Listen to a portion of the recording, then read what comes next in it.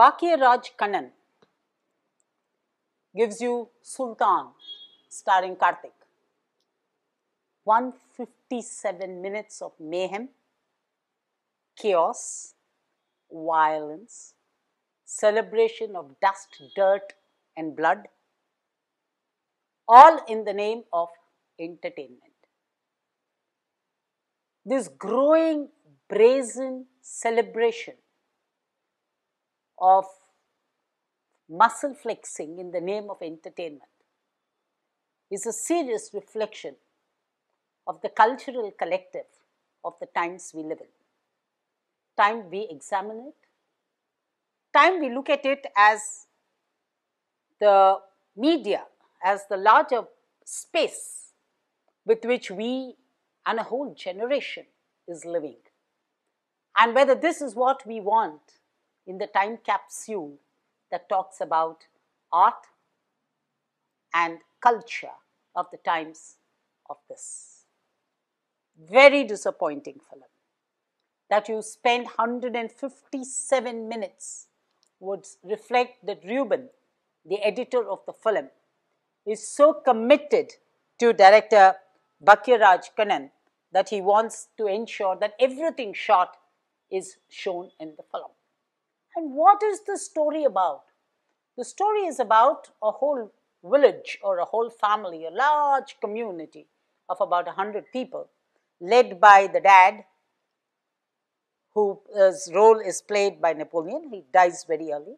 And then the foster father, Lal Mansur, who is called the earlier Sultan, and he names a small child born on a wet night as Sultan and his real name is Vikram.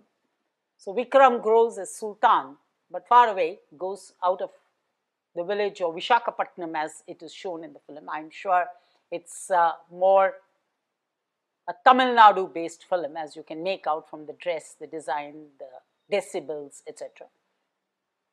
Very soon you have uh, him coming back to the village for a holiday and then getting caught in the vortex of crime, tragedy, drama that happens in the village. He promises the local inspector that he would convert his camp of 100 people into good human beings, unaware of the fact that there is a lo looming villain in the piece, the rural villain as I would call him, played by played as Jayendra by Ramachandra Raju over the top. And Therefore, he has to go to Vizag to keep these people away, where he goes to this village, where he obviously has to run into the heroine of the movie. The heroine of the movie, Rashmika as Rukmini, very drab, lackluster performance. And then he not only has to fight this local villain who's grabbing the land, etc., but he's also to make for another urban villain who comes in in the form of Nawab Shah. How he fights all of them, how he throws, how the sickles and the hammers and the guns and the spears and all of them work with those lungi dances and unkempt beards and men in the hundreds behaving like they've been out of civilization for hundreds of years is what the filmmaker is trying to tell you in the name of entertainment. I wonder, what is it in this script that Karthik saw worth taking and doing? Because this is what he's done in so many films. Neither is there anything in the script that stands out and tells Karthik, yeah, I must take this movie, I have not done something like this. Or a film where he says, yeah, forget it, maybe I've done this kind of a cinema again and again, but here are such amazing points in the story, the script, the direction that I think is worth investing my time, money and energy or my reputation. None of this is visible for 157 minutes. Not a minute of serenity, not a minute of sanity. It is so loud, it is so crass.